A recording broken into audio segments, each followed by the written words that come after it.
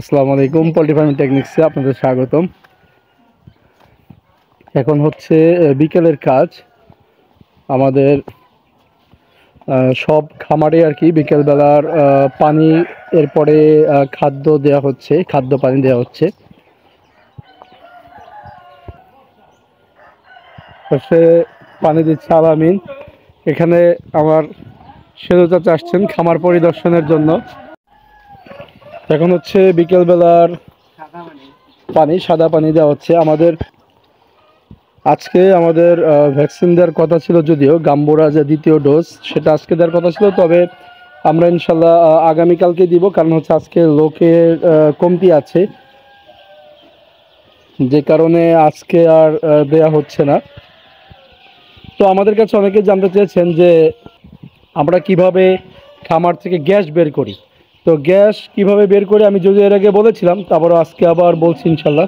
আমরা আমাদের এই যে দেখতে পাচ্ছেন যে এভাবে যে উঠিয়ে রেখেছি, এভাবে কিন্তু আমরা উঠিয়ে রাখি। এভাবে উঠিয়ে রাখলে পরে কিন্তু খামার থেকে গ্যাস বের হয়ে যায়। পাশাপাশি দেখা যায় যে দুপুরের পূর্বেই দুপুরের পূর্বেই আমরা এরকম দুই সাইডেই হালকা করে উঠিয়ে, তারপরে যে যে তুষ দেখতে পাচ্ছেন তুষ কিন্তু হয়তোবা বেলচা দিয়ে, বেলচা অথবা এই জাতীয় কিছু দিয়ে আমরা তুষ কিন্তু নাড়া দিলেই কিন্তু এখান থেকে দেখতে পাচ্ছেন, নাড়া দিলে কিন্তু গ্যাস গ্যাস ওঠে।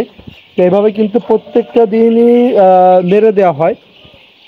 পর্দা আলগা করে তারপরে কিন্তু প্রত্যেকটা দিনই নেড়ে গ্যাস বের করে দেওয়া হয়। একেবারে এটা মূলত প্রতিদিনেরই কাজ। আর অবশ্যই গ্যাস তো বের করে দিতেই হবে। না হলে দেখা যায় যে সমস্যা হয়ে যাবে। গ্যাস না বের করলে মুরগির নানা ধরনের ক্ষতি হয়ে যাবে। মুরগির দেখা যায় যে চোখ ফুলে যাওয়া, তারপরে গ্যাস থেকে, তারপরে এ জাতীয় আরও নানা প্রকারের রোগ সৃষ্টি হয়, সমস্যা তৈরি হয়। তো গ্যাস এটা প্রতিদিন অবশ্যই বের করবেন। সেটা হচ্ছে আপনার দেখা যায় যে খামারের দক্ষিণ পাশ, এরপরে উত্তর পাশ এই পাশগুলোতে একটু উঠিয়েই, দেখা যায় যে পর্দা উঠিয়েই বা পলিথিন উঠিয়ে তারপরে বেলচা দিয়ে নাড়া দিয়ে দিবেন, নেড়ে দিবেন, বেলচা দিয়ে একেবারে যে তুষটা আছে, তুষটাকে নেড়ে উল্টো পাল্টা দিবেন, তাহলে কিন্তু গ্যাস বের হয়ে যাবে। আর আগামীকাল তো অবশ্যই ইনশাল্লাহ ভ্যাকসিনের ভিডিওটা শেয়ার করব।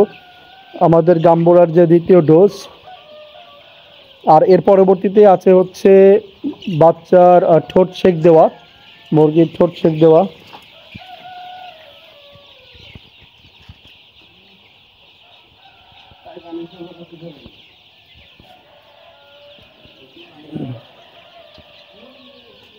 তো আলহামদুলিল্লাহ আমাদের মুরগিগুলো কিন্তু খুবই ভালো আছে। যেটা দেখতেই পাচ্ছেন, সোনালি সুপার হাইব্রিড। এটা হচ্ছে কমার্শিয়াল ওর আর ওই পাশে আছে হচ্ছে সুপার হাইব্রিড প্যারেন্টস আর এটা হচ্ছে সুপার হাইব্রিড কমার্শিয়াল আমাদের এই জায়গাটাতে আঠাশশো পিস মুরগি আছে, দুই হাজার আটশো পিস তো আমরা এখন যেভাবে ড্রিঙ্কারগুলো দিচ্ছি, যে কতগুলো মানে মুরগির জন্য একটা ড্রিঙ্কার আর কতগুলো মুরগির জন্য একটা ফিডার আমরা এখন মোটামুটি তিরিশটা মুরগির জন্য একটা করে ফিডার দিচ্ছি।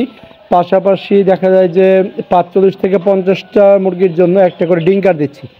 তো এভাবে করে কিন্তু আপনারা ড্রিঙ্কার আর ফিডারটার মোটামুটি একটা পরিমাপ করে দিতে পারেন।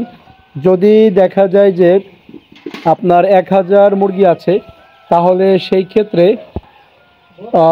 বিশটা ডিঙ্কার, যে ছোট ডিঙ্কার, এগুলো বিশটা ডিঙ্কার দিলেই হয়ে যাবে মোটামুটি এক হাজার বাচ্চার জন্য।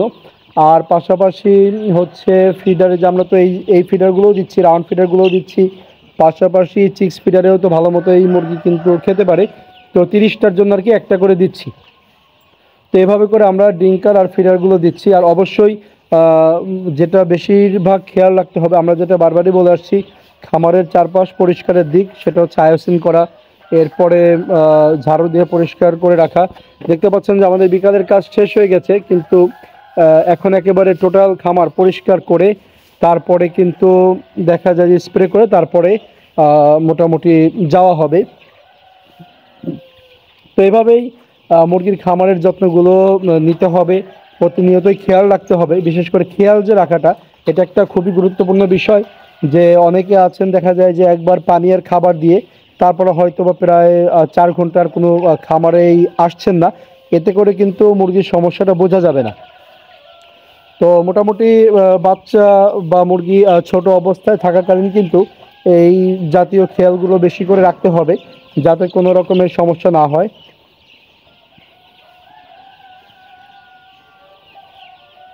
তো মুরগির খামার বিষয়ক আপনাদের যে কোনো প্রশ্ন থাকলে আমাদেরকে কমেন্টসের মাধ্যমে জানাবেন।